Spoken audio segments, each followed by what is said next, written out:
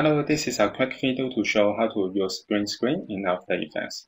I have a footage download from freepik.com. We can find the download link in this video description. In this footage, we have a green screen, and then I will put the phone lock screen into the green screen. I select these two footage and click and drag into After Effects projects. And then I select the video footage and put it into composition. To remove the green screen, we can use Keylight. Go to Window and check Effects and Presets. We can find the Effects and Presets panel here.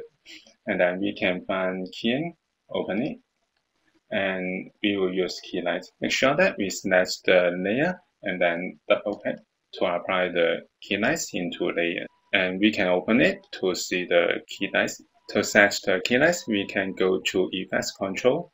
We can go to Screen Color and click the drop part and click to the green color to remove the green color. And then we can adjust the screen balance. I will reduce it to zero.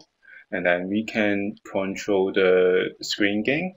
I will adjust it a bit.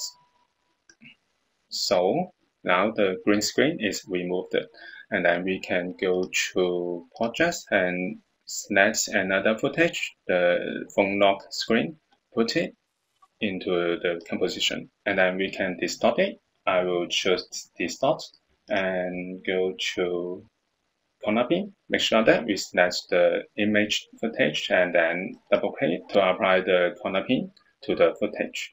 And then we can have four pin to control the distortion and then I click and drag to fit the screen.